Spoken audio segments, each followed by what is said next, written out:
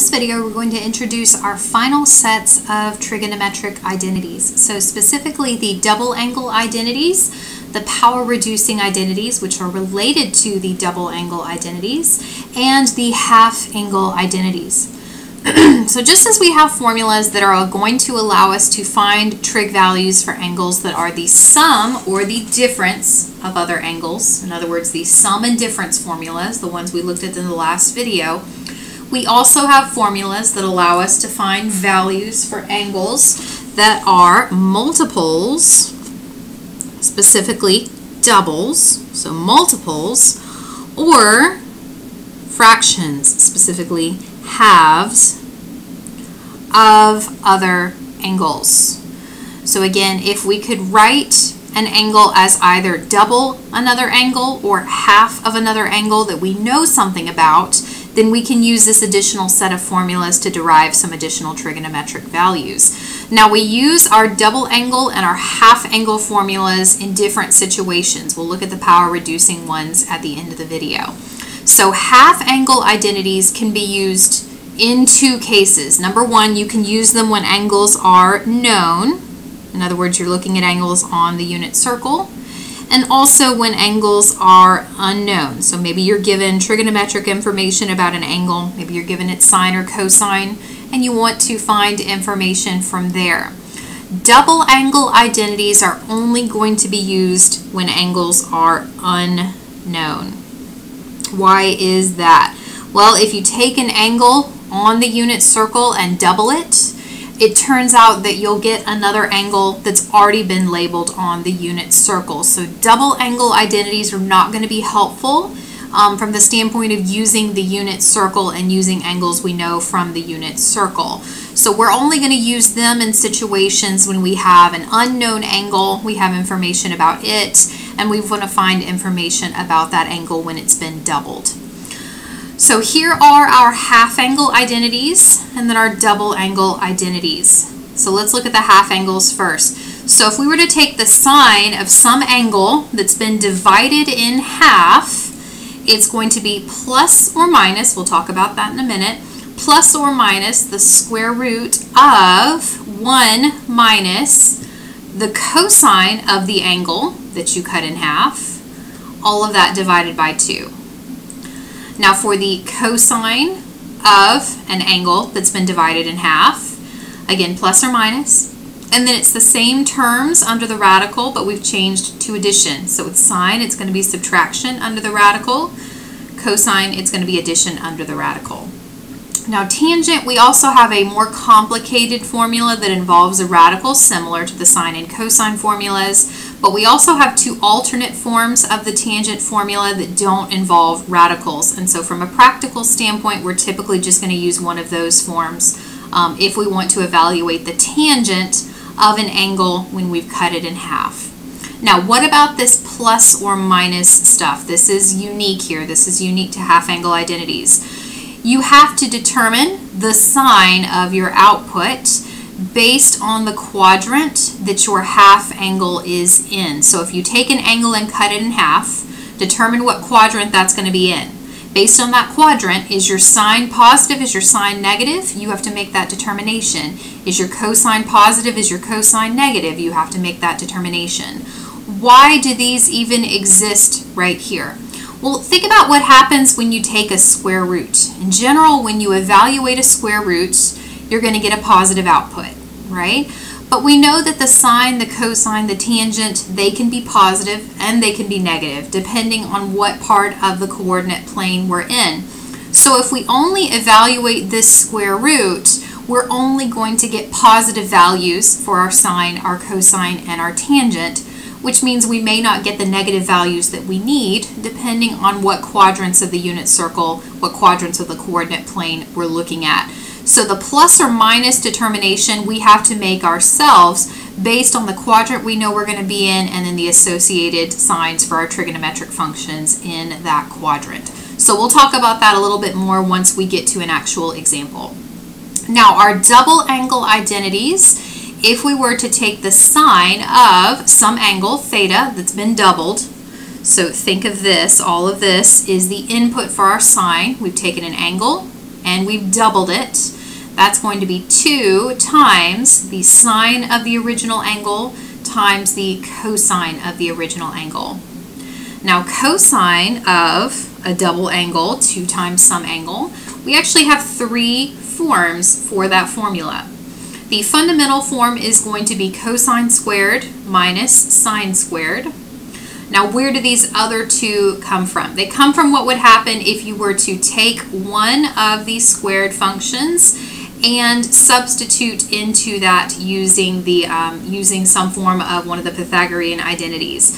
So if you were to replace cosine squared with 1 minus sine squared and then simplify all of this down, this would be the version of the formula you'd get. If instead you were to substitute 1 minus cosine squared in place of sine squared, well this would be the formula you would get down to. So as long as you know the first form, you can derive the other two forms just by substituting in place of one of these functions using um, a Pythagorean identity. And then our tangent of 2 theta is going to be 2 tangent theta divided by 1 minus the tangent squared of theta. You're going to find that there's typically a shortcut for evaluating tangent of 2 theta. Specifically, if you already know the value for the sine and the value for the cosine of that same double angle, you can just take the ratio of those two values because we know that sine divided by cosine is always going to give us tangent. In most situations, it's going to be faster to calculate your tangent that way than it is to directly use your tangent double angle formula. So let's just work through some examples, how we use these angles in different scenarios. So first example, we want to use a half angle formula to find the exact value of each expression. So the first expression is going to be the sine of 157.5 degrees.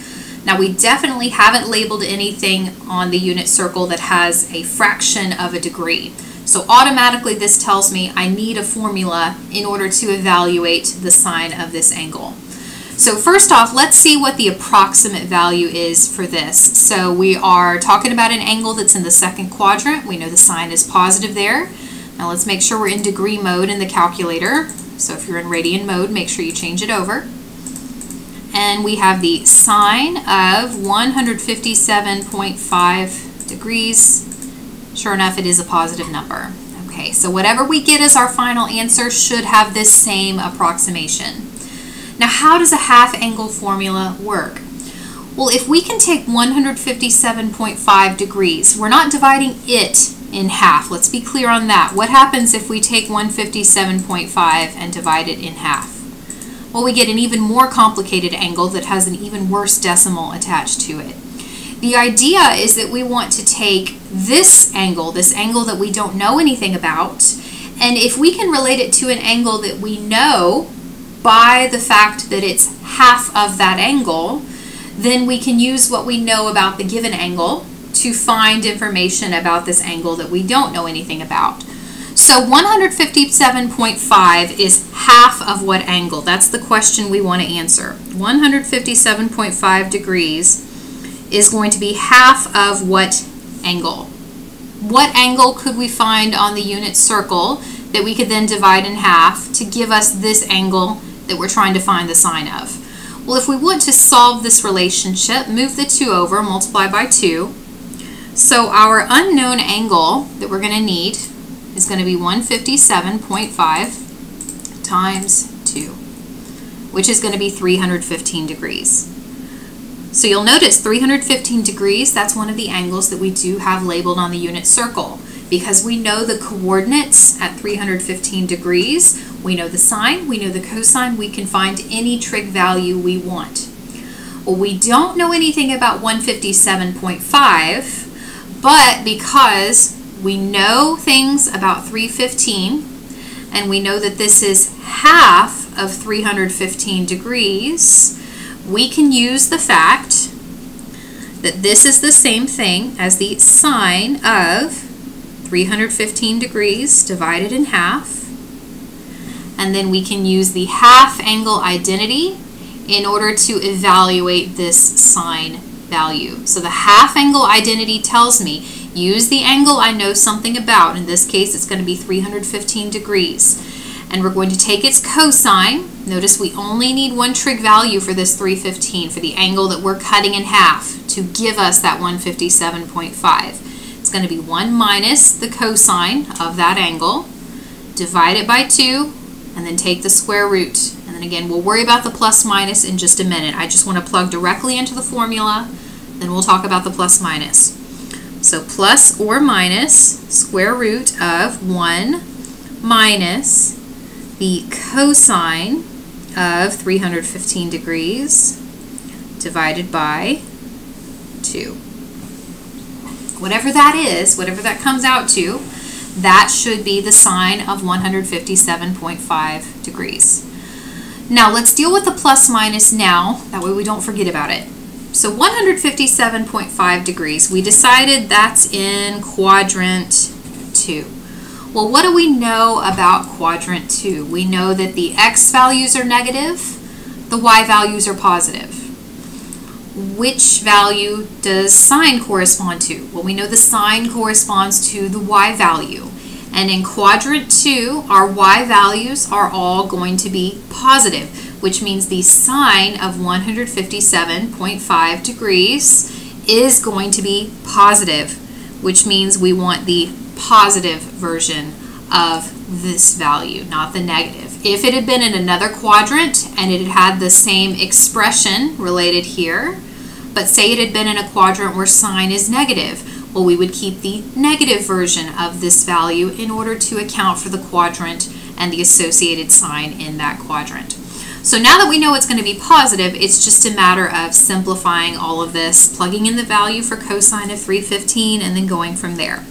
So we have the square root of 1 minus the cosine of 315 degrees. Okay, well 315, that's in the fourth quadrant. We know the cosine, the x value, is going to be positive. 315 degrees, that's halfway around the quadrant. So that's going to be root 2 over 2.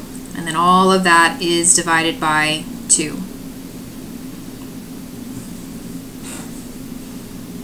Now, how do we simplify this? Again, we have a fraction inside of a fraction, and then all of that is under a radical. So there's quite a bit going on here. This is a fairly complicated expression.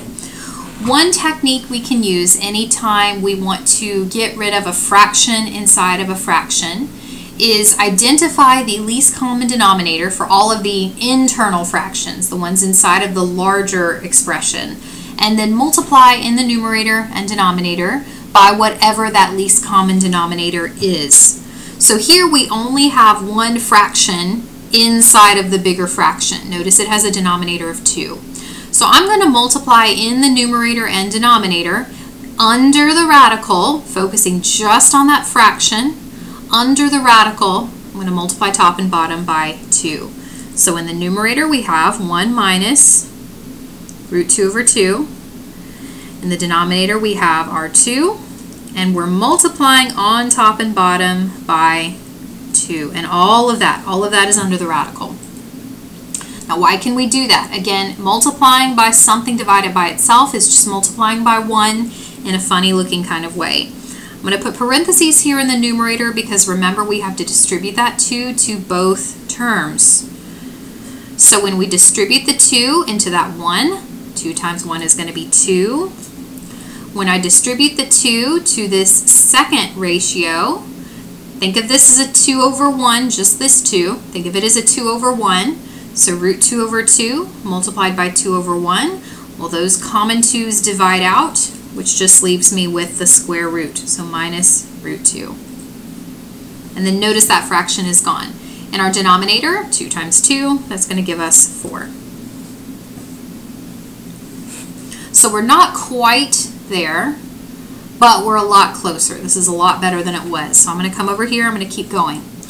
So I have a ratio, I have a quotient inside of a radical. So one of the rules for radicals says that if you have a quotient inside of a radical, you can split it up into a quotient of radicals. Think of it kind of like distributing the square root so that applies to the numerator and denominator separately.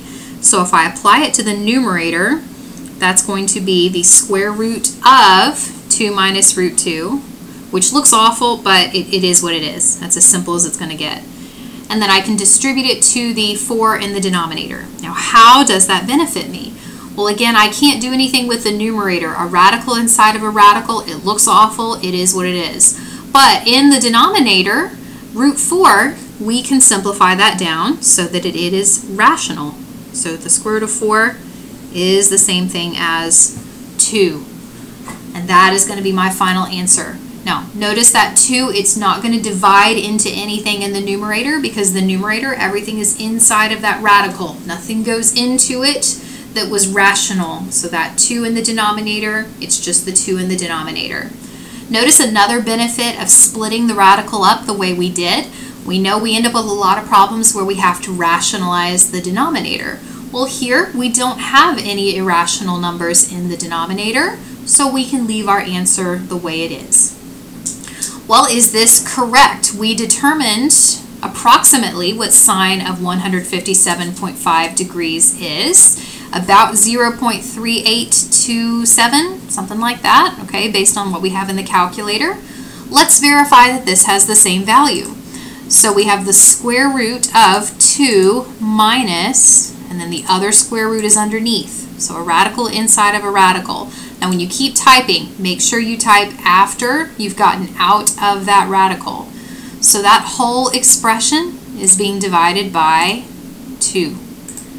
And we evaluate that and sure enough it is the same value. So that is going to be the sine of 157.5 degrees. Okay, let's try another one. Let's try a cosine.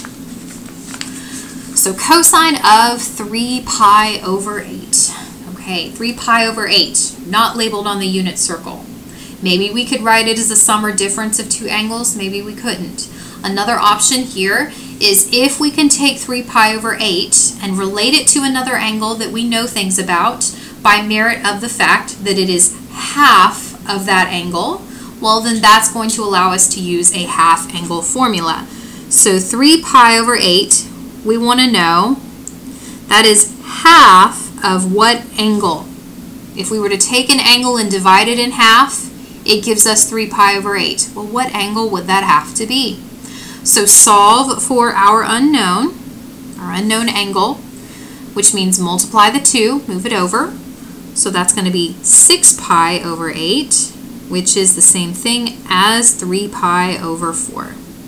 Well, 3 pi over 4, we know a lot about 3 pi over 4. We know that its sine is root 2 over 2. We know its cosine is negative root 2 over 2. So we know everything we need. So the cosine of 3 pi over 8 is going to be the same thing as the cosine of this angle that's then been cut in half. So it's the cosine of 3 pi over 4 if we were to take 3 pi over 4 and cut it in half. Now before we use the formula, let's go and verify what cosine of 3 pi over 8 is going to be. So the cosine of 3 pi over 8, let me change my mode real quick. Radian mode, enter, okay, go back out. Cosine of 3 pi over 8, and we know we're in radian mode hey, we got the same value, okay? It's going to happen. You're going to see some repeated values, which means in theory we should get down to the expression we have above as our final answer since they do seem to match. So let's see what happens when we start to use our formula. So this is the angle that we're referencing. We're dividing that angle in two because that's equivalent to 3 pi over 8, the angle we're interested in. So our cosine half angle formula is going to be plus or minus, again we'll worry about that later, the square root of 1 plus the cosine of the angle that we're using divided by 2. So positive or negative square root of 1 plus the cosine of 3 pi over 4.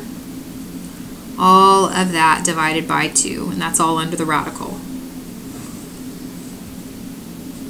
Okay, plus or minus. Is it plus or minus? Well, it's going to depend on what quadrant 3 pi over 8 is in. How can you determine what quadrant a radian measure is in? It's not as obvious as it is with degrees. focus on the coefficient for the pi, so that fraction, 3 over 8. What is 3 over 8 if we were to evaluate that and approximate it? So 3 over 8 is 0.375, so a little bit less than half. So here's my strategy here. Here's what I'm doing. As I go around the unit circle, I start here and this is 0 pi's. This is half of a pi. This is a single pi. This is one and a half pi's. And then I come full circle and I've got two pi's. 3 pi over 8 is 0.375 pi's, which means it's between 0 pi and half of a pi, or 0.5 pi. So that means 3 pi over 8 is going to be somewhere in the first quadrant. Well, what do we know about angles in the first quadrant? Specifically, what do we know about the value of its cosine if it's an angle in the first quadrant? Well, since the cosine corresponds to the x value, we know the cosine is going to have to be positive. So this square root is going to have a positive value. And again, if it had been an angle in another quadrant where the cosine had a negative value, we would want the negative instead of the positive. So now that we know what that sign is, we can proceed and let's evaluate this cosine. So 1 plus the cosine of 3 pi over 4, which is going to be, let's see, the cosine of 3 pi over 4 is going to be negative root 2 over 2. All of that divided by 2. Okay. We need to simplify this again, and it's a fraction inside of a fraction, so we can use the same strategy we used before. Now the only fraction on the inside has a denominator of 2. We want to get rid of that. So inside the radical, I'm going to multiply on top and bottom by that 2 that I want to eliminate. So that's going to be 1, and then I'm going to go ahead and write it as a subtraction. 1 minus root 2 over 2. All of that is divided by 2. And I'm going to multiply on top and bottom by 2. Just like before, I want to put parentheses on the top so we make sure the 2 multiplies by both terms.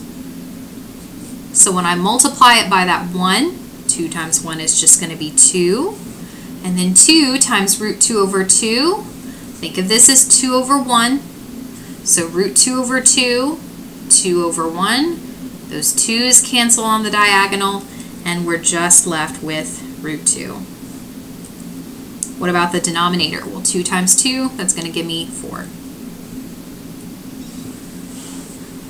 Okay, just like before, we can kind of distribute that square root. We can split it up. So the square root of a quotient is the same thing as the quotient of two separate square roots.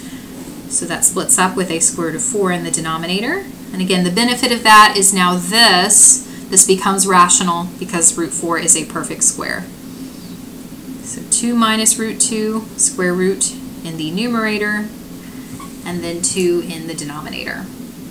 And we already evaluated this one. We know its approximate value, and we know that that matches up to cosine of 3 pi over 8 based on what we just did a moment ago.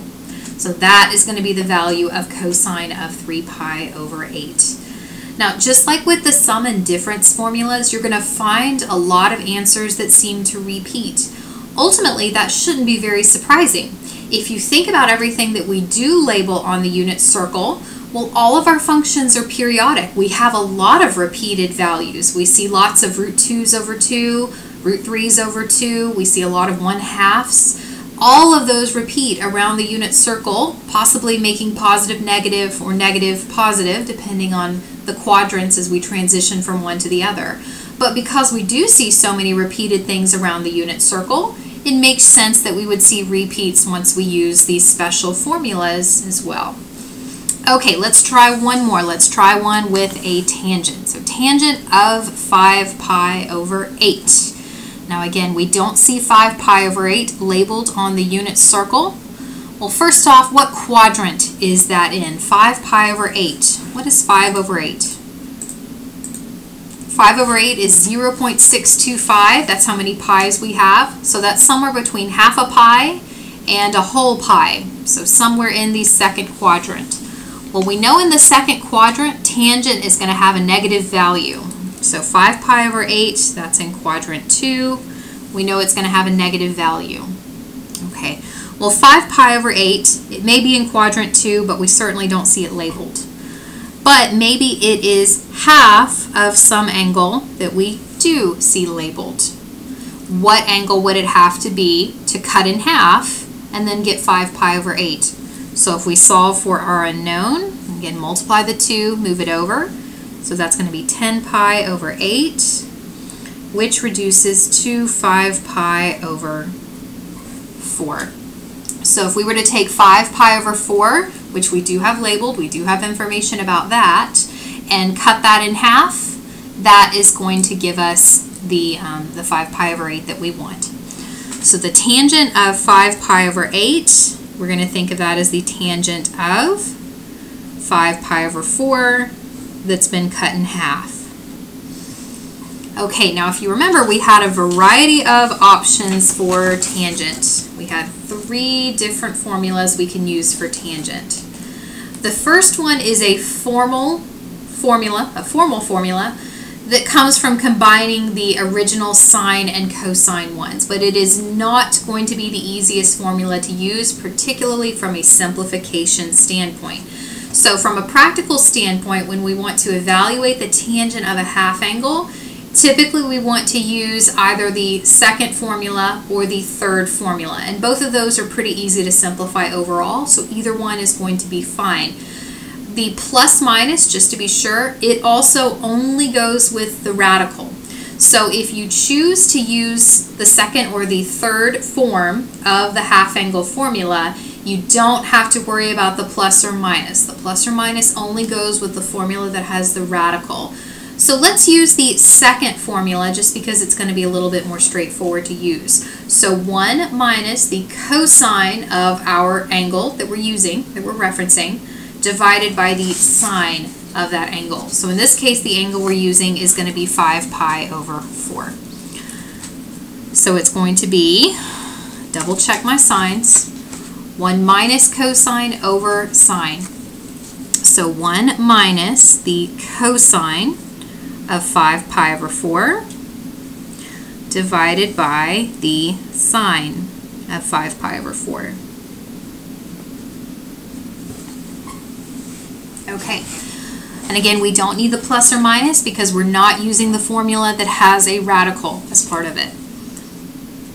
Now we just need to evaluate these two and then simplify from there. So the cosine at 5 pi over 4, 5 pi over 4 is in the third quadrant, so the cosine is going to be negative. So that's going to be 1 minus root 2 over 2 minus, is it? 1 minus negative root 2 over 2 because the cosine is negative, so we're subtracting a negative, okay? Divided by the sine at 5 pi over 4, which is also negative root 2 over 2. Well, now we have two fractions inside of this one bigger fraction. We can use the same strategy we used before. So I'm going to go ahead and rewrite that numerator with an addition, and then we can do that additional step. Okay, so we want to get rid of the denominators within the fraction. So find whatever's common. If we had two different denominators, we want to find the least common denominator for the pair. In this case, both of these have a denominator of 2. So I'm going to multiply on top and bottom by a 2. So in the numerator, it has to distribute. In the denominator, we're just multiplying it by one value. Okay, so in my numerator, distribute the 2 when I distribute it to the second term, root 2 over 2 multiplied by 2 over 1 becomes just a square root of 2. And all of that is divided by whatever we get in the denominator. So multiply by negative root 2 over 2 times 2 over 1. So that's going to be negative square root of 2. Okay. This, unfortunately, is not rationalized, so we do need to rationalize this. And I do want to write it out. Sometimes you can do a rationalization in your head. Here, that's not necessarily the best idea. So I'm going to multiply top and bottom by that expression that I want to rationalize, by that denominator. Now notice those double negatives, those will become a positive, and then the negative will become part of the numerator. Okay, so in the numerator, we have 2 times negative root 2, so negative 2 root 2, and then positive and a negative multiplied gives me a negative. Root 2 times root 2, well that's root 2 squared, which is just going to be 2. Then in the denominator, the two negatives make a positive. Root 2 times root 2, root 2 squared, is just going to be 2. So the last thing I want to do, focusing on the rational parts, notice they all have a common factor of 2. So I'm going to factor that out in the numerator. If I factor it out from the first term, I'm just left with my radical and my negative. If I factor it out from the second term, well, negative 2, factor out a 2, we're left with a negative 1. Then all of that is divided by 2. So our common factor reduces to 1 and we're left with negative root 2 minus 1. Let's check it. Now we didn't plug in the tangent at the very beginning, so let's do that. So the tangent of 5 pi over 8, okay, it's a negative number. What do we get when we take the negative square root of 2 minus 1? Not surprisingly, again, we get the same value. They match up. That confirms our answer. Okay, so let's let's look at a different kind of example. So that gives you a sense of how you might use those half angle formulas if you want to evaluate a trigonometric value for a given angle. But remember, we can use these in different ways as well. So we can also use these formulas when an angle is unknown, but maybe we have some information about one or more of its trigonometric values. So half angles are going to apply in either of these situations, either when the angle is known or when it's unknown. Our double angle formulas, which we haven't used yet, those are only going to apply, excuse me, those are only going to apply when we're looking at angles that are unknown. Okay, now anytime the angle is unknown, immediate thought should be draw a right triangle. Draw a coordinate plane, draw and label a right triangle, paying attention, of course, to the quadrant that you're in. Okay, so we've been given that the sine of our unknown angle theta is negative 5 over 13, and we've also been told that the cosine of this angle is less than 0. It has a negative value. This additional piece of information is going to help us determine the quadrant.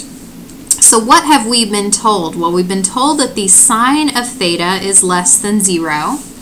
And we've also been told that the cosine of theta is less than 0.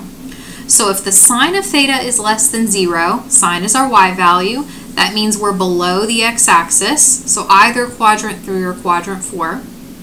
If we know that the cosine is also negative, well cosine is our x value, so that puts us on the left-hand side of the y-coordinate. So below the x-axis and to the left of the y-axis means we have to be in the third quadrant. So that means theta is going to be some angle that takes us to the third quadrant. Okay, so let's label our triangle given our value for sine. So opposite over hypotenuse. The opposite will be the negative. The hypotenuse always has a positive length. Okay, this is a Pythagorean triple.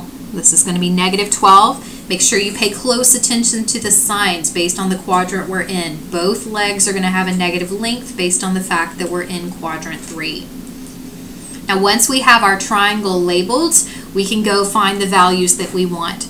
So the first thing we want is sine of double our angle. So if this is theta, imagine doubling that angle, which would take us from the third quadrant, double it, rotate it around a little bit more.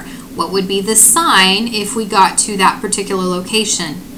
Well, we can't double these values. It doesn't work that way.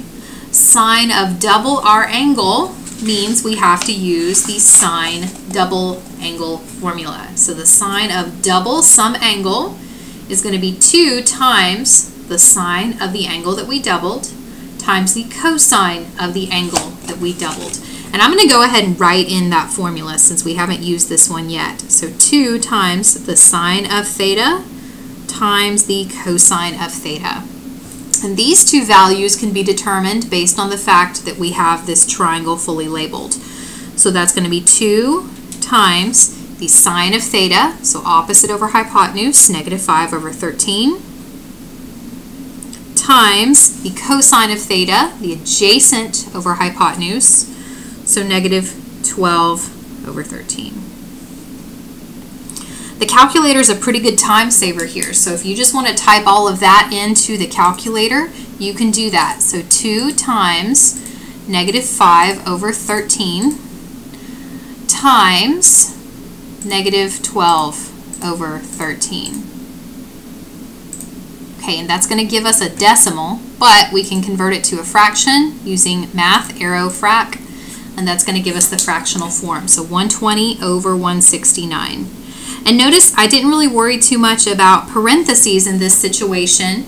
If we're not talking about multiplication and division combined with addition and subtraction, the order we do the multiplication and the division in doesn't really matter. Your calculator understands what it needs to do and it just does it left to right. Okay, so that is going to be the value for our sine. Notice it has a positive value. What about our cosine? Well, again, we need a formula that will take the cosine of double the angle that we were already given. This is a unique situation because we actually have three different options here to evaluate the cosine of our double angle. It doesn't matter which one you pick. Each one is pretty much the same in terms of the difficulty or the ease of use. I typically just use the first one because it's the first one. So cosine squared of our angle minus sine squared of our angle. And again, we can pull those values off of our triangle. I'm going to put parentheses around the cosine and the sine so that when we square it, it's going to take care of those negatives for us. So our cosine are adjacent over hypotenuse, so negative 12 over 13, and we're squaring that, minus the sine squared, so opposite over hypotenuse, negative 5 over 13, and that's also being squared. This is another time where your calculator will come in handy. Okay, so plug it in, but make sure you put parentheses around those values that you're squaring, specifically because those values are negative. That's going to be really important here. We also have to make sure that we're squaring both the numerator and the denominator. So the parentheses, they're going to take care of that for us. So minus negative 5 over 12, and that is also squared. So it's going to square each of the fractions, and then it's going to subtract the result. Okay, let's see. Can we convert that to a fraction? Nope, that doesn't look right. Something got typed wrong here. So let's do it one step at a time. So negative 12 over 13 squared. I'm not sure what my calculator did. I probably typed something wrong. So negative 12 over 13, and we're squaring it. Convert it to a fraction, so 144 over 169. We can do this in a couple of steps, not a big deal. So 144 over 169. So negative 5, parentheses, make sure you put parentheses, negative 5 over 13 squared. Okay, so that's going to be that, convert it to a fraction, so math, arrow, frac, 25 over 169. So minus 25 over 169. Notice we already have the common denominator, so all we have to do is subtract the numerators. So 144 minus 25 is going to be 119 over that common denominator of 169. And that is going to be the value of the cosine of double our angle. Now what about the tangent? We do have a formula for tangent, but as it turns out, we don't need it here. Why don't we need it? Well, the tangent of any angle is going to be the sine of that angle divided by the cosine of that angle. And in this case, we already have the values for the sine and the cosine. So if we just use those values that we've already calculated, that's going to be a pretty major time saver. So our sine is going to be 120 over 169. And then our cosine is going to be 119 over 169. Now we have a matching denominator for each of these fractions inside of the expression and that'll cancel, but just to verify that they do, remember when we're dividing fractions, we're going to keep the numerator as is, so 120 over 169, convert from division to multiplication, and then take the reciprocal of the denominator. So 119 over 169 becomes 169 over 119. And so we can see we've got a common numerator and denominator. That's going to reduce to 1, which means we have 120 over 119, and that is our value for tangent. So much quicker than having to use a formula. But keep in mind, again, you could use the formula. It would take a little while to simplify, but you would get down to the same answer. Now again, we don't really have a good option for checking these answers because we don't know exactly what theta is. All we know is the triangle we drew. So technically we could check using maybe the inverse sine, um, making some adjustments based on the quadrant we're in, but it's probably more work than it's worth. Okay, now the sine of the half angle. So if we were to take theta and cut it in half, what would the sine be? That's the next thing we want to find. Okay, so we need first our formula. So our sine half angle formula, plus or minus the square root of 1 minus the cosine of our angle, in this case it's theta instead of alpha, divided by 2. So plus or minus the square root of 1 minus the cosine of theta divided by 2. Now, plus or minus, what do we do about that here? We need to determine which one it is. Is it positive? Is it negative? It can't be both. Again, that's going to depend on the quadrant, but we've got to be careful here. Our angle that we started with is in quadrant 3. That is not the angle, that um, quadrant, excuse me, that our half angle is in. We have to take into account what would happen if we take an angle in the third quadrant and cut it in half. Now we don't know exactly what theta is. All that we know is that it's in the third quadrant. But that does tell us that it has to be somewhere between 180 degrees and 270 degrees. So we know that 180 degrees is going to be less than theta, but at the same time, theta is also going to be less than 270 degrees, just because of that quadrant we're in. That means theta over 2 would result when we take each of those boundaries and cut those in half. So 180 over 2 is going to give us 90 degrees. And then 270 over 2, what's that, 135? 135 degrees.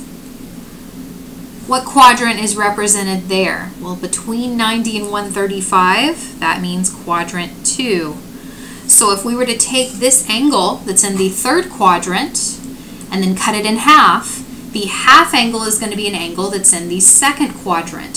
So in terms of determining the signs, positive or negative, we base it on the fact that the half angle the angle we're evaluating this trig function for, is an angle in quadrant 2. So picture quadrant 2. We've got our half angle somewhere in quadrant 2. Our sine, is it going to be positive or negative? Well, since sine corresponds to our y value, our y values are positive in this quadrant. So we know we're going to want the positive version of our radical.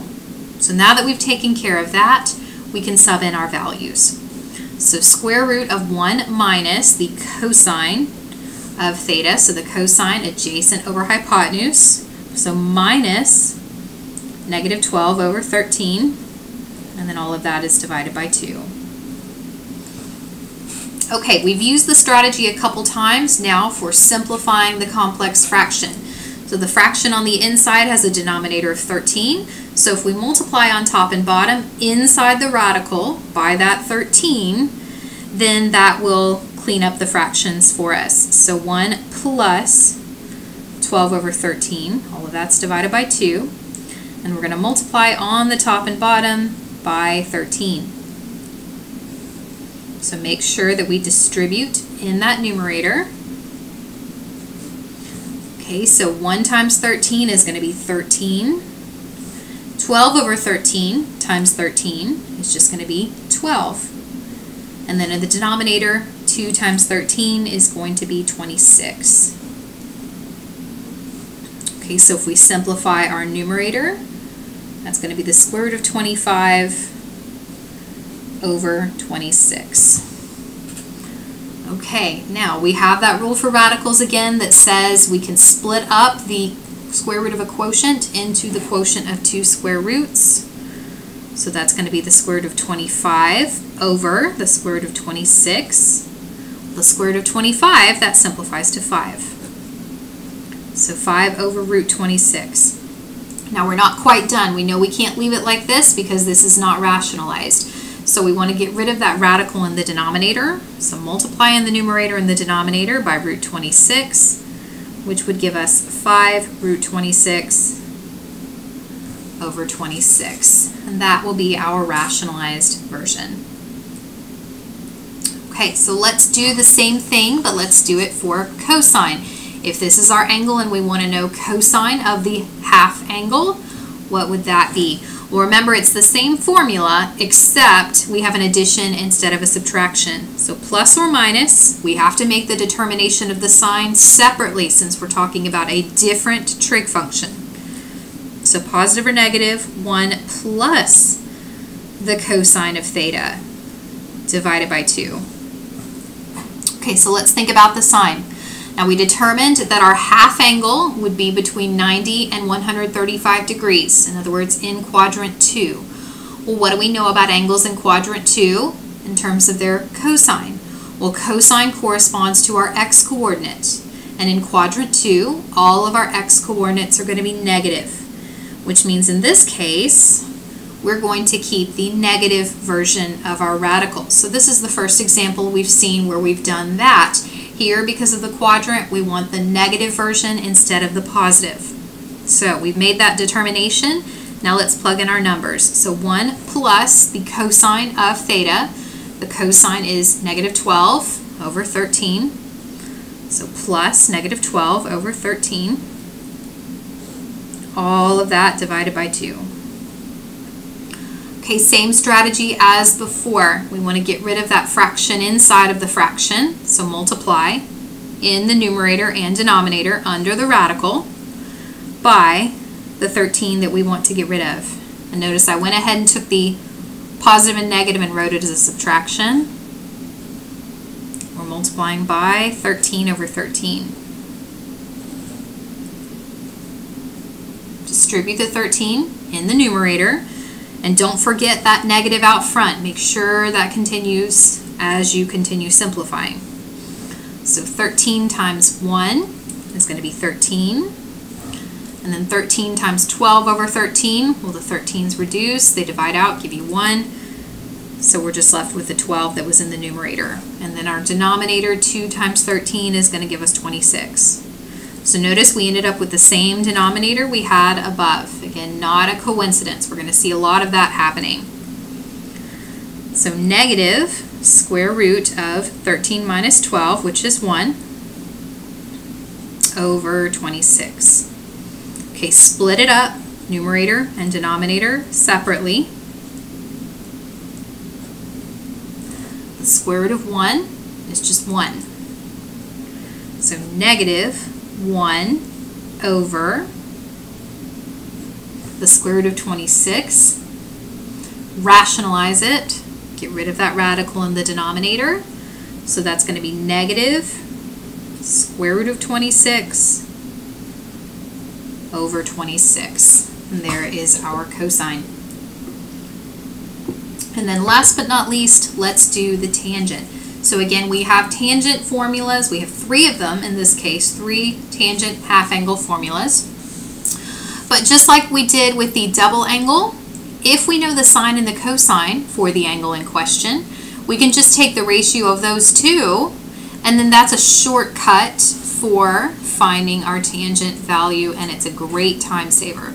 So sine of our angle, cosine of our angle, divide them and we get the tangent of our angle.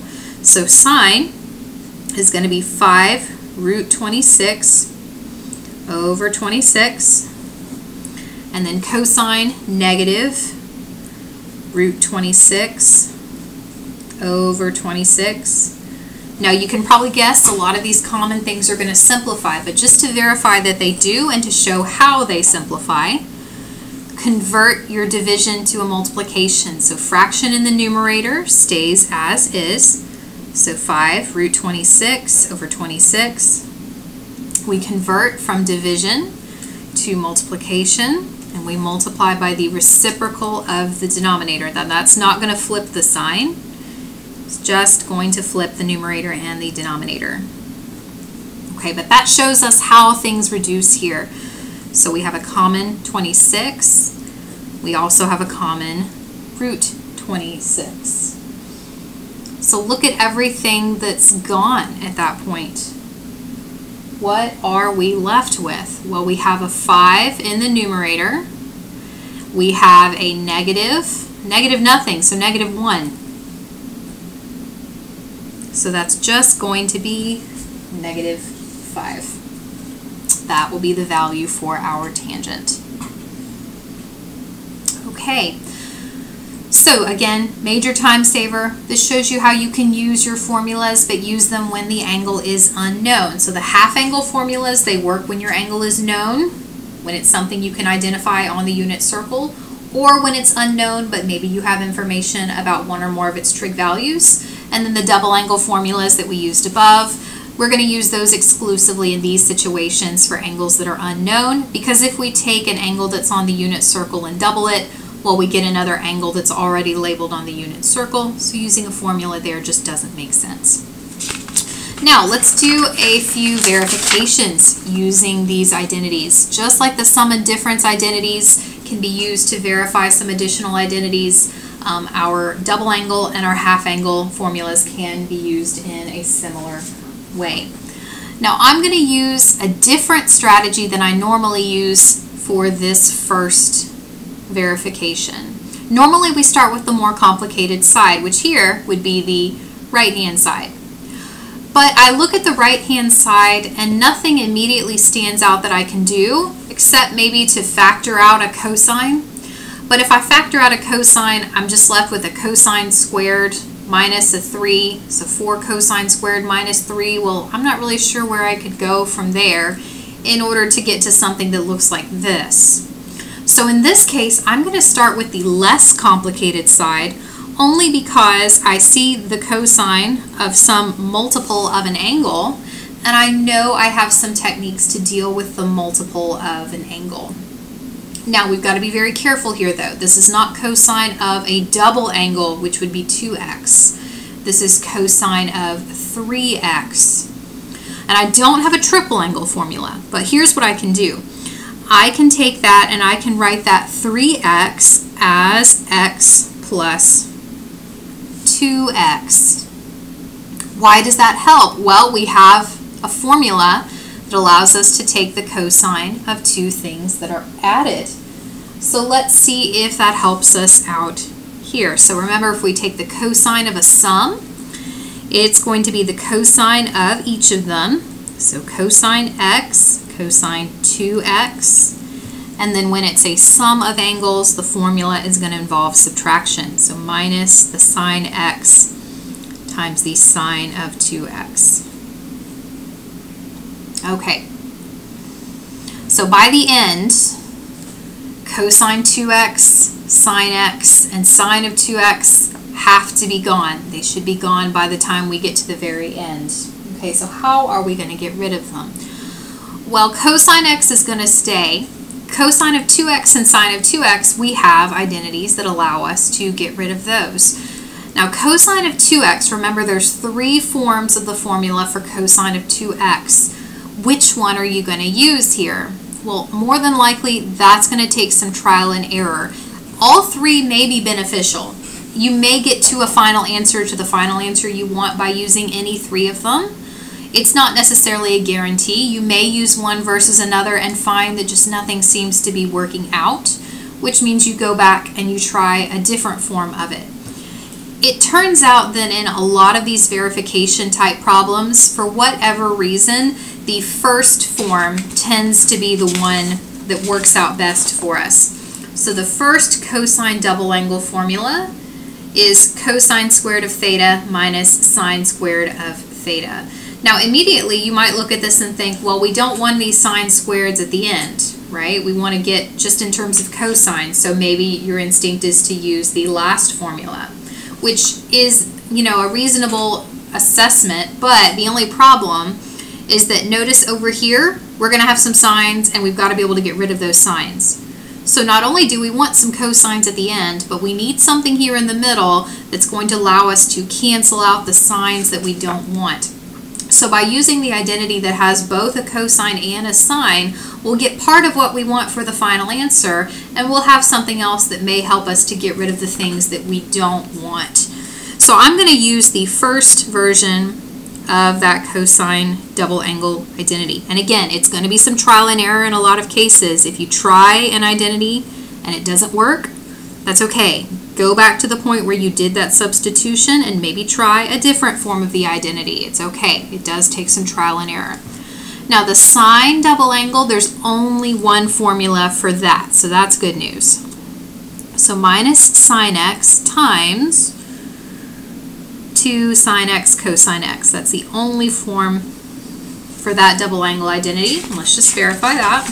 There we go, sine double angle, 2 sine of the angle, cosine of the angle. Okay.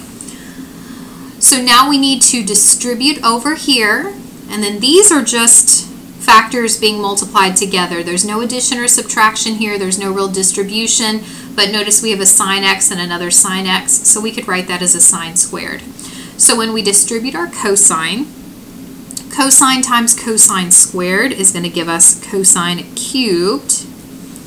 And then cosine times sine squared, where one of them is negative, going to be minus cosine x sine squared x. Okay, the next term is subtracted. So minus sine x times 2 times sine x times cosine x. So minus 2 times sine squared x times cosine x. Okay, so where are we now? Well, we've got a cosine cubed. Okay, so one of those. We've got one of them. We should have four of them, so we're not quite there, but this is going to stay. Cosine and cosine Okay, we've got some cosines. The sine squared, that needs to go away. That's a problem. Well, how do we get rid of a sine squared if we want everything in terms of cosine?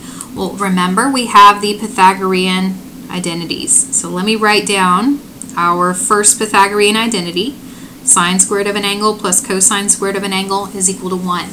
So if we want something to substitute in place of sine squared, rearrange this identity. If we isolate sine squared, we can do so by moving over our cosine squared, subtracting it on both sides, and that'll give us something to substitute in place of these two functions that we know are not present in our final answer.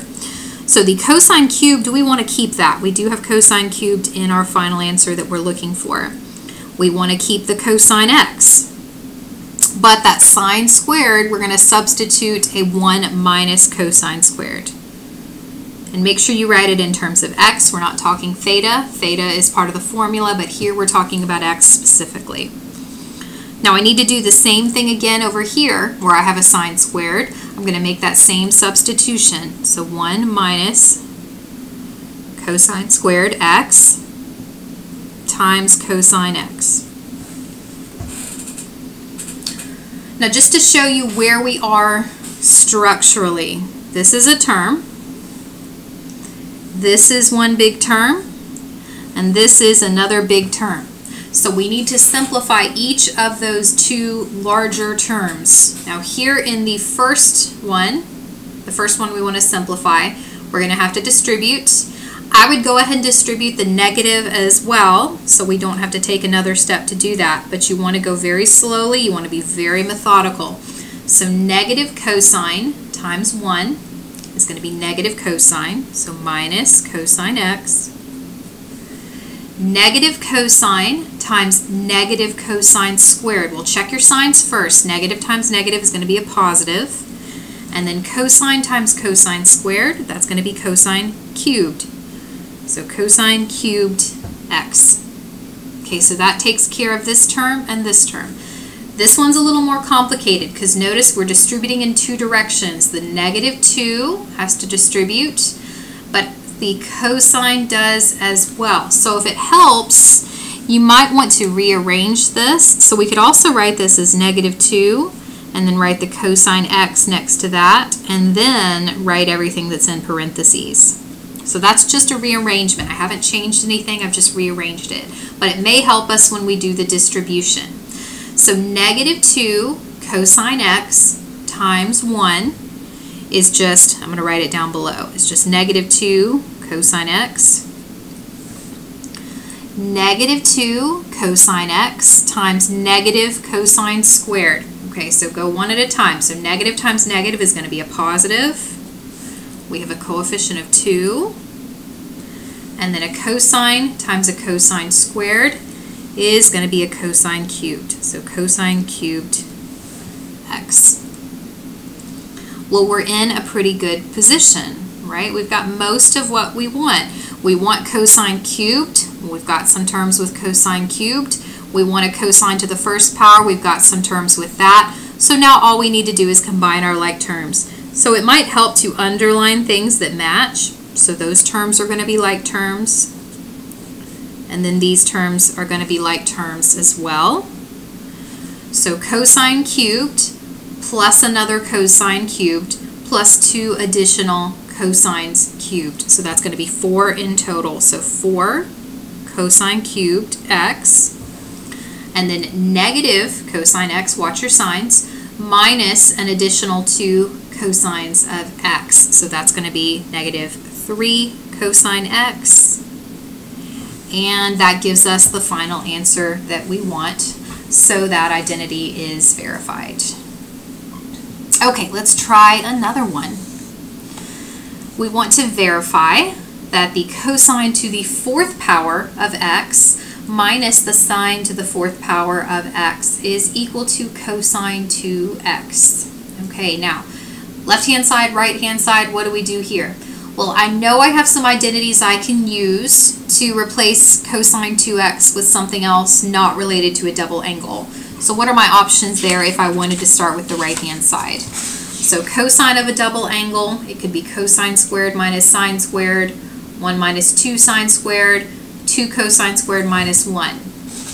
Well, I'd want both a cosine and a sine.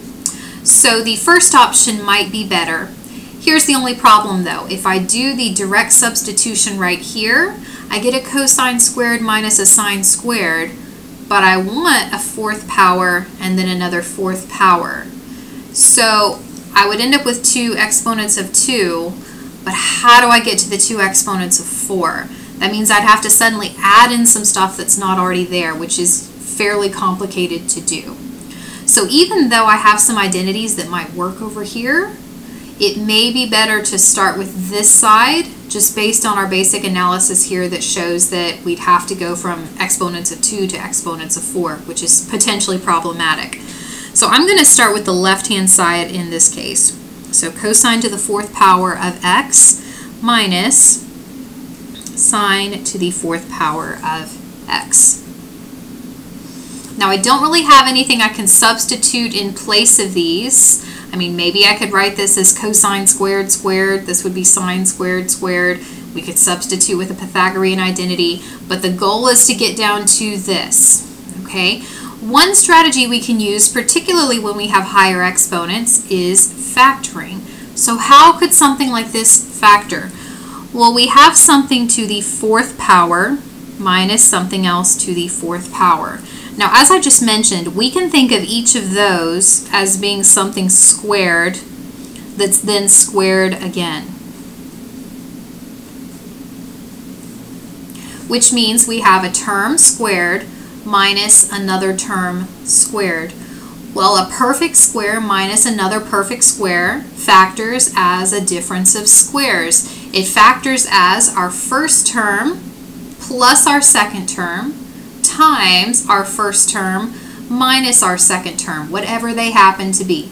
In this case, they happen to be something squared and then something else squared. So this would factor as a squared plus b squared times a squared minus b squared. So it is a difference of squares, but the thing being squared is already squared. That's how we get a fourth power. So if we can rewrite these using this as a model, this is the same thing as cosine squared x that's then squared minus sine squared of x, which is also then squared. So using this as the model, again, we have a perfect square minus another perfect square.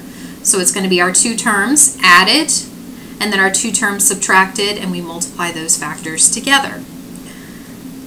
So that's going to be cosine squared x plus sine squared x times cosine squared x minus sine squared x. Now, do not redistribute these. If you redistribute them, you get right back to where you started. You completely reverse everything you just accomplished. But look at each of these factors. So the first pair, what do you notice about the first pair? Well, cosine squared plus sine squared, we actually wrote something about that above. Cosine squared plus sine squared evaluates to 1. So all of this just simplifies down to 1. What about this though? Well, I look at that and I'm like, well, we just looked at that a moment ago, right? Where did we look at that? We looked at that as being one of the forms of our cosine double angle formula. So the cosine of a double angle is the same thing as the cosine squared of that angle minus the sine squared of that angle. And that's exactly what we have right here we have the cosine squared of our angle minus the sine squared of our angle.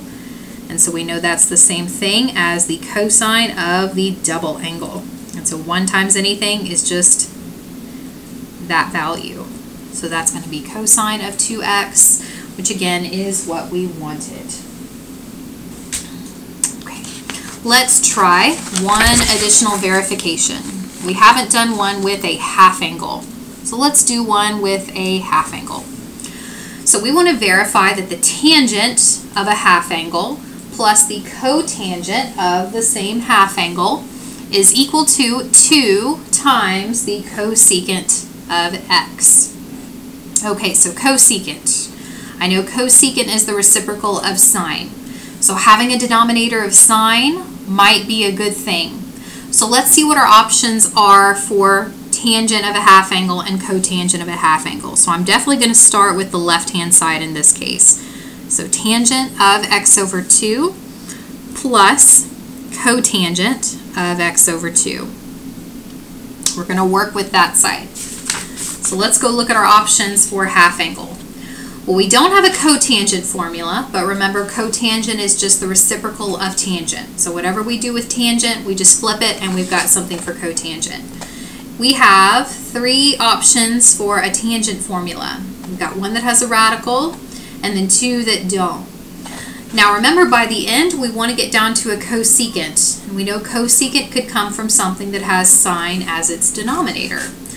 Well look at this second formula we have for the tangent half angle. Notice it has a sine in the denominator.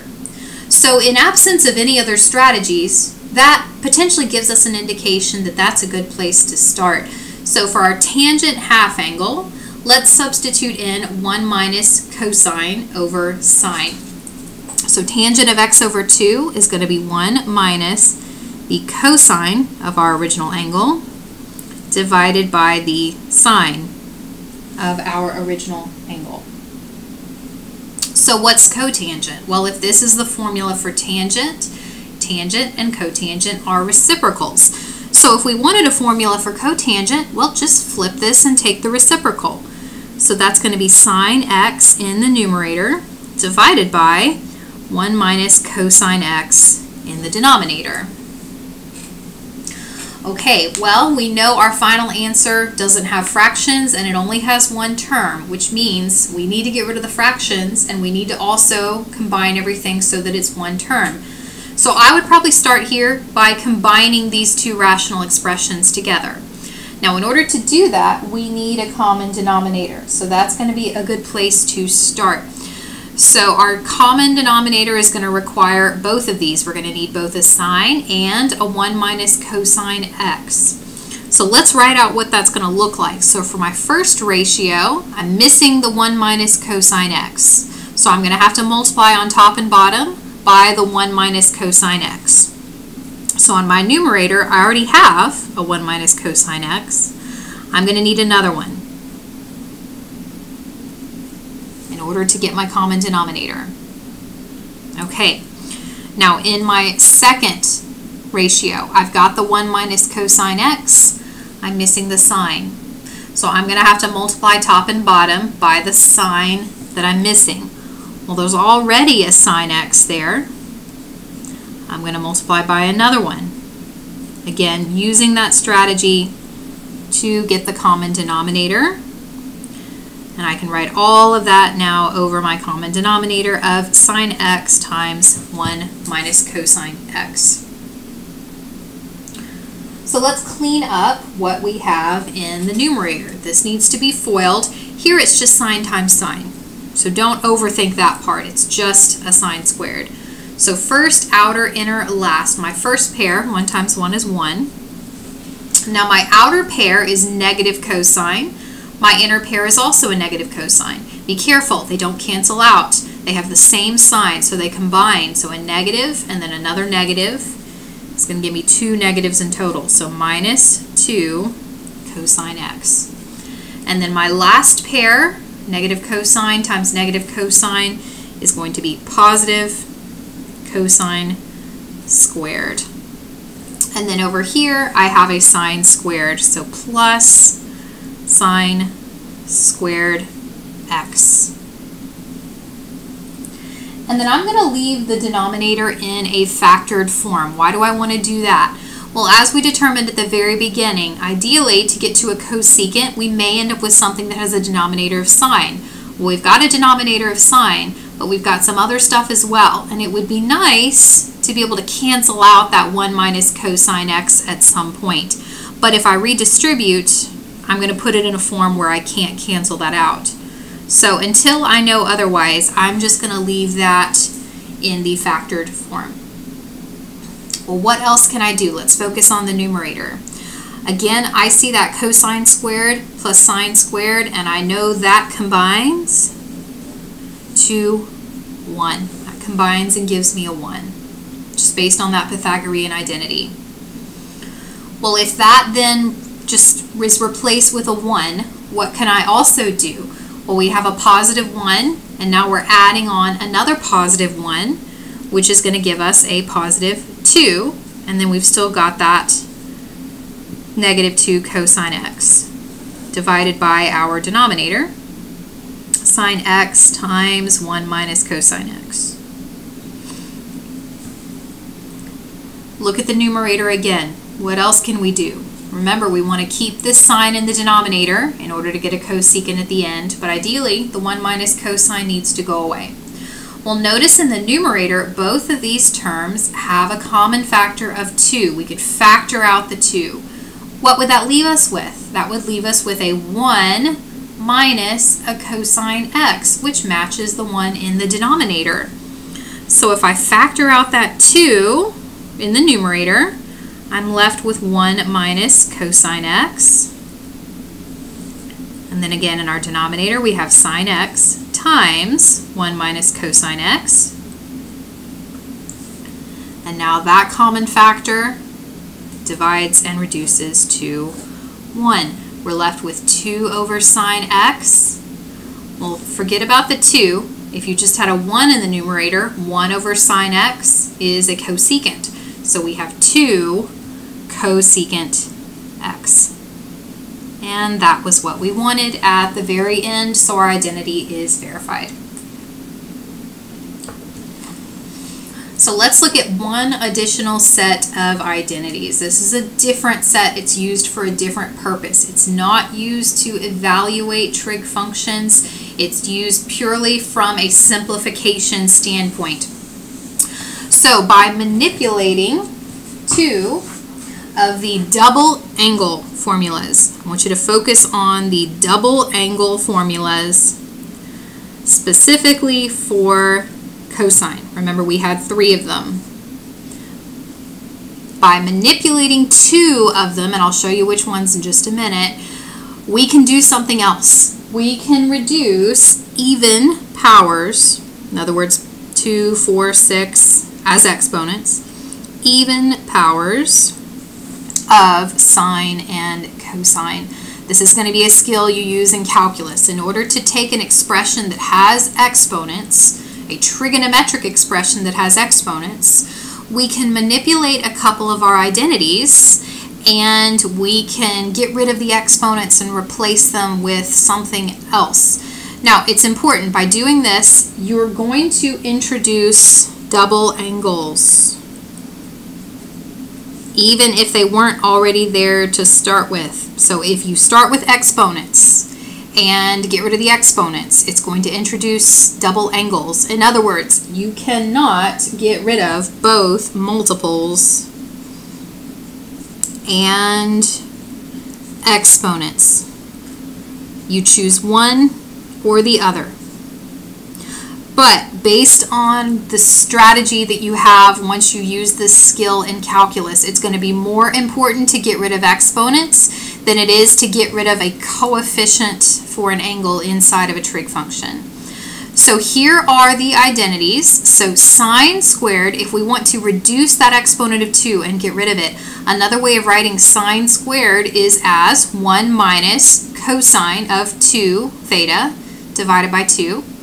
And cosine squared, if we want to get rid of the exponent, it can be written as 1 plus cosine of 2 theta divided by 2. So you end up with an expression that no longer has any exponents in it. And if you were to take the ratio of these two, you end up with a formula for tangent. Now I want to show you where these come from for at least one of them. So let's flip back over and look at the double angle formulas for cosine. Remember there are three of them.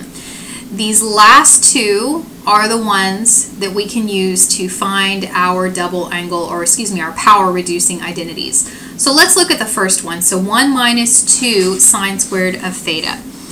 So cosine of 2 theta can be written as 1 minus 2 sine squared theta. And remember, where did that come from?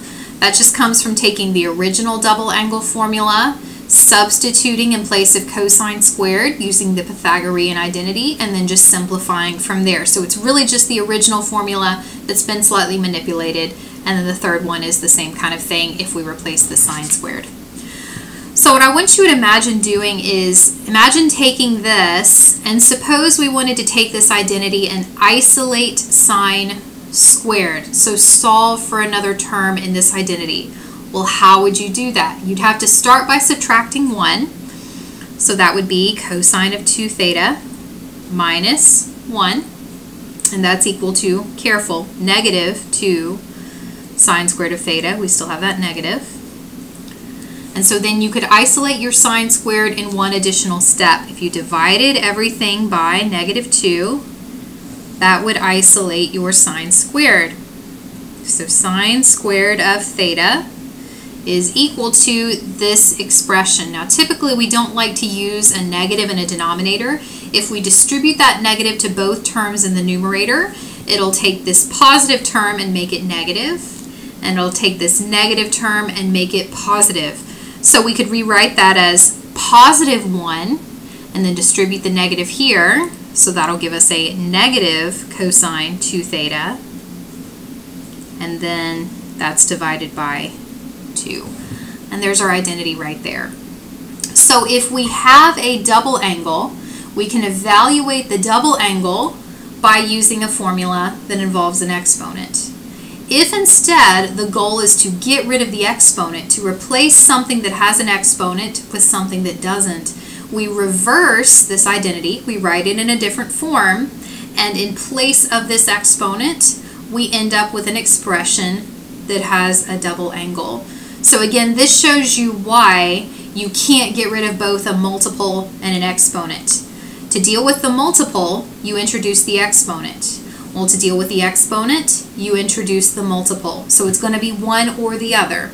But again, for what you're going to use this for in calculus, it's going to be more important to get rid of the exponents than it is to be able to deal with a double angle, a triple angle, something like that. So these identities, again, are not going to be used in conjunction with the unit circle. They're strictly used to take more complicated expressions and simplify them down, specifically get rid of exponents.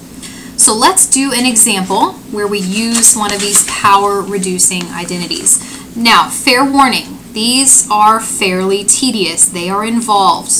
Take a whole sheet of paper and plan to use a whole sheet of paper to do this kind of problem. But they are very formulaic in terms of once you do one, you pretty much follow the same procedure for all of them. But you do have to be neat, you have to show your work, you have to be very organized. Okay, so we want to write cosine to the fourth power of 2x, I'll put that in parentheses just for clarity, in terms of the first power of cosine. Translate this as I want to get rid of the exponent. By the very end, I want to have just the first power of cosine, no exponents. Now, why does it just say cosine instead of mentioning sine? Why doesn't it say first power of sine or cosine? Well, look at our formulas all three of our formulas are directly related to cosine of 2 theta because remember these formulas came from the cosine double angle identities. So when you do the power reduction, your final answer is only going to involve cosines. It's not going to involve any other trig functions. So that's why um, the problem is phrased the way it is. Okay, so let's go back and look at this. So we want to write in terms of the first power of cosine. Well, we don't have a cosine squared. We have a cosine to the fourth power.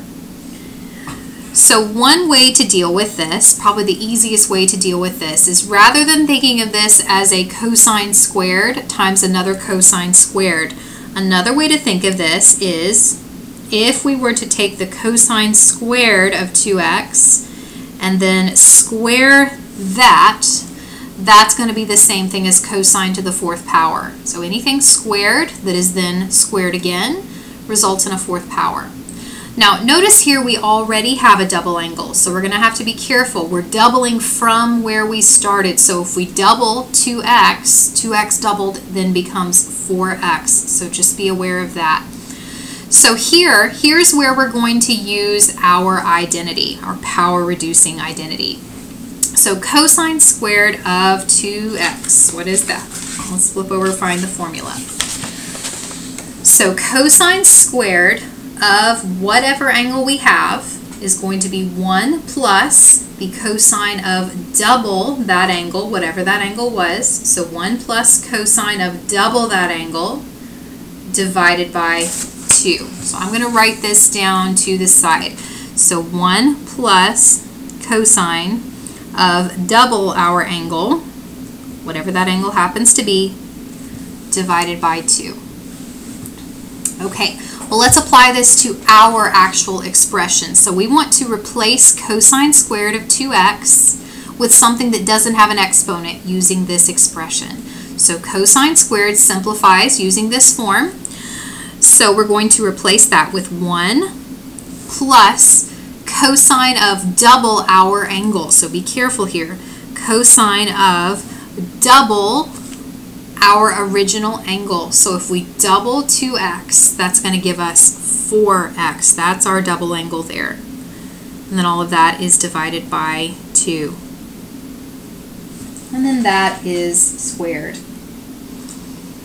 Well, it almost looks like we're done, but think about what we really have. We have an expression that's squared, and we're not going to leave it in a form like that. What does this really mean? Well, we can square the numerator and the denominator separately. In the numerator, that means we're taking 1 plus cosine of 4x, and squaring it means we're multiplying it by itself. So that's the same thing as multiplying that binomial by itself.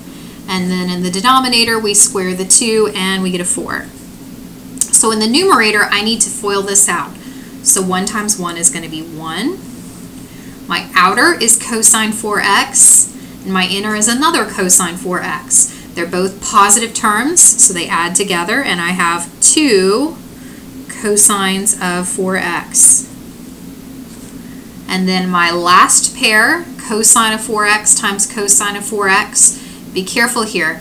The 4x's are inside the cosine. So for clarity's sake, I want to put parentheses here. We're squaring the cosine. 4x is not multiplied by 4x. Cosine of 4x is one whole unit. You multiply it by itself and you end up with that whole unit squared. So plus cosine squared of 4x. And again, if you want to put parentheses just for the sake of clarity, you can do that. And then all of that is divided by 4. So why are we not actually done? Well, look, we have another exponent on cosine. We want everything in the very end in terms of the first power of cosine. So this one's okay. This is cosine with an exponent of 1. This one's not. So we're going to have to replace this expression using my cosine double angle formula again. Now before I do that, I'll show you why this is going to matter in a minute.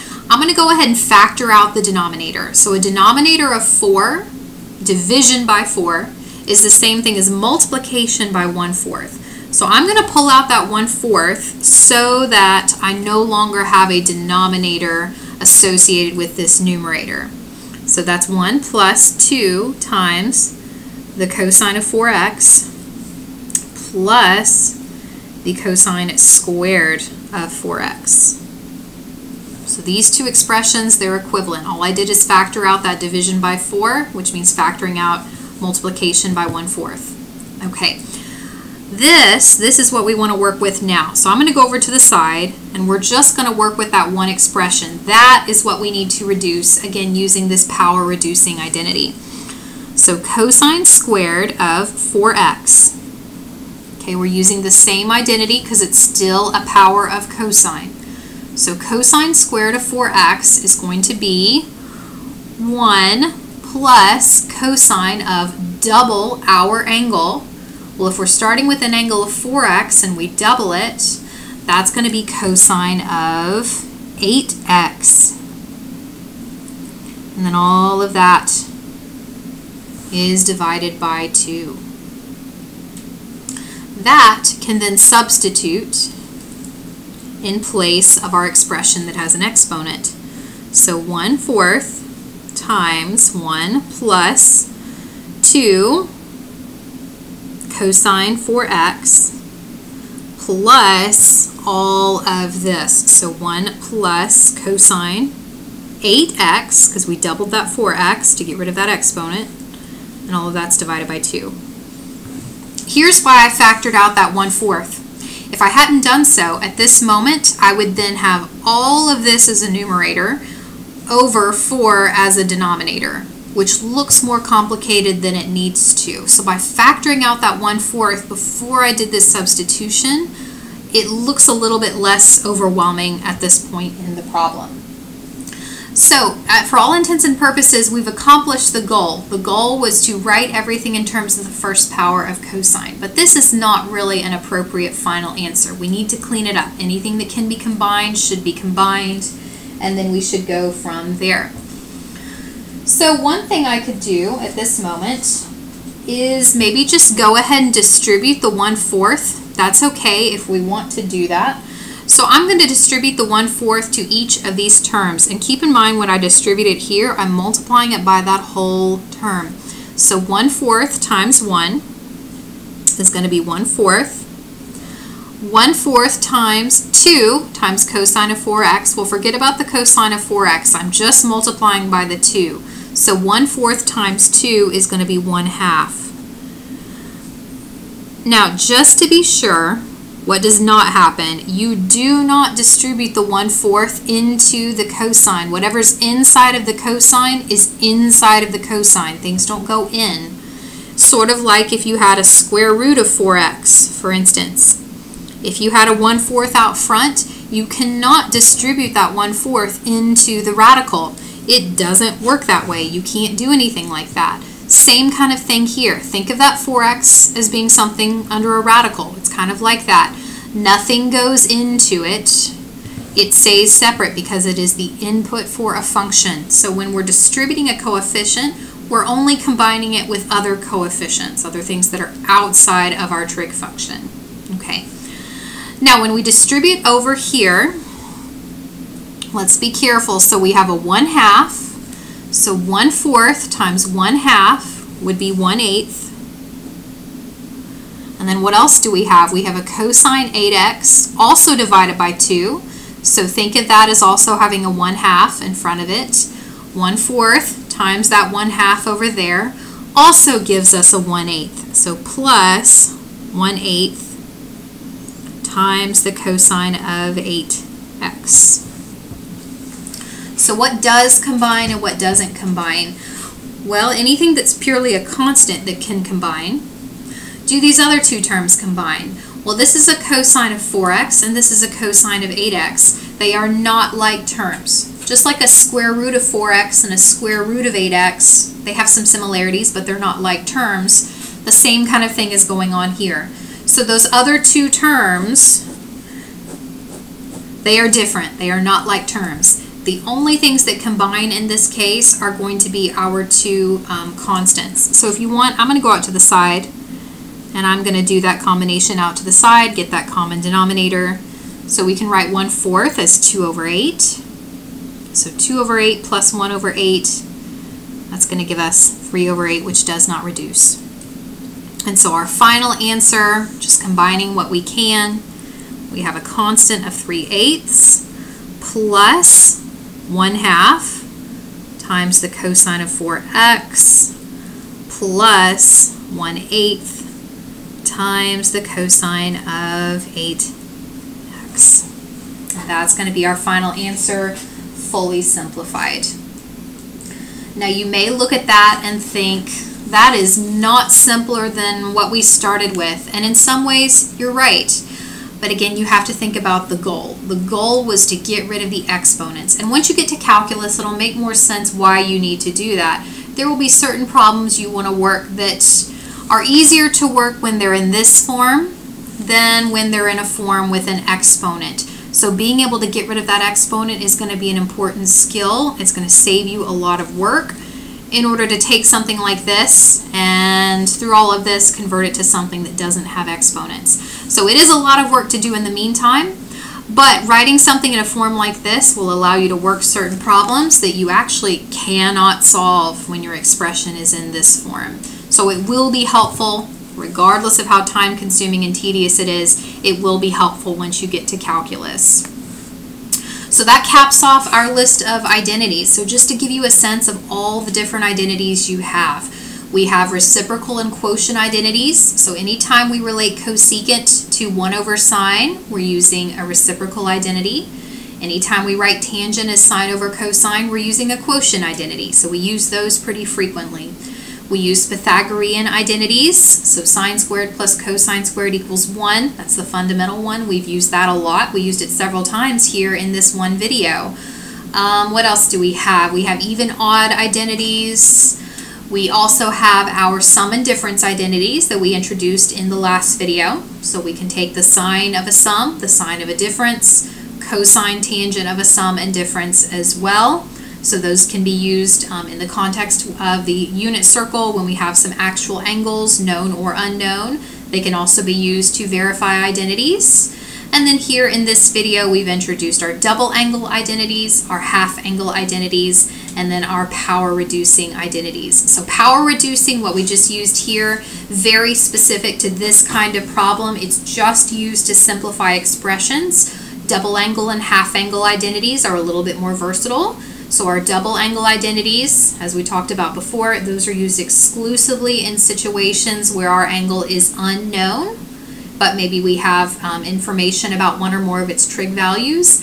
Half angle identities can be used in a variety of situations when our angle is known or when it's unknown. So using the, these identities, having these as sort of a toolkit, it's going to be very helpful. It's going to allow you to deal with a lot of different trigonometric situations that you weren't previously equipped to deal with.